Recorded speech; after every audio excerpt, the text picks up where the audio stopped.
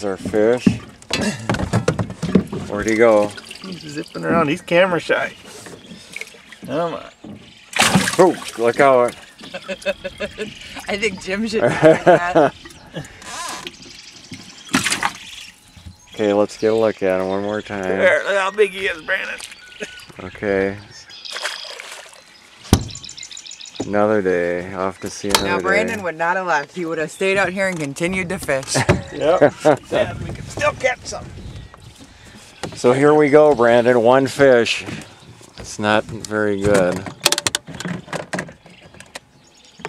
Beautiful night though, And isn't it? Yeah, it was worth it just to get out here. Look at that sunset. I wonder if you can hear hear all the birds.